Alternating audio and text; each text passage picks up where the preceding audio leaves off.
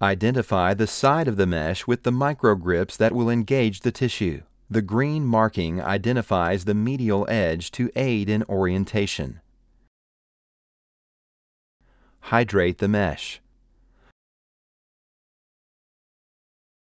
With the microgrips facing away from you, fold the interior flap up along the seam in the mesh. Fold the superior edge down over the edge created by the initial fold. Fold the superior edge down again, effectively folding it in half along the long axis. To facilitate later deployment, do not press the layers of the mesh together.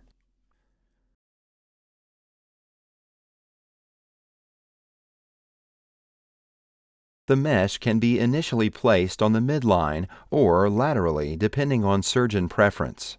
The midline placement may be easier to orient relative to the anatomy, while the lateral placement may be easier to insert down the trocar.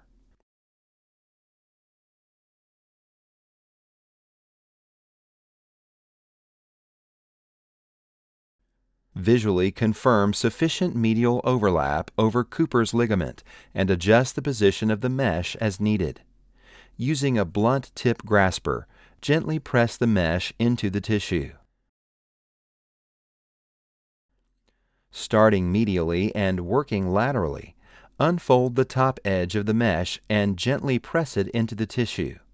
Likewise, unfold the bottom edge of the mesh and gently press it against the tissue.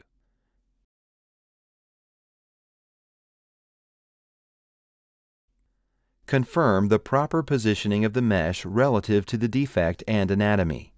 If necessary, reposition the mesh by peeling the mesh from the tissue rather than dragging it.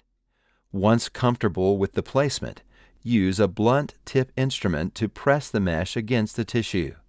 In TAPP procedures, use the V-Loc wound closure device to close the peritoneum.